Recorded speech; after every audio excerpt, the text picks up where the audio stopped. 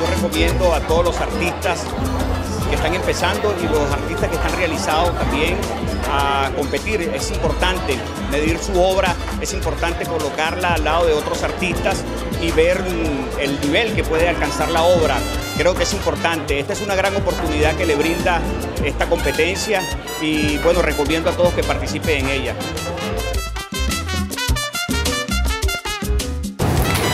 Hola a todos, es muy emocionante estar aquí y poder invitarlos al concurso internacional de arte contemporáneo de Latinoamérica, un nuevo concurso que estamos organizando.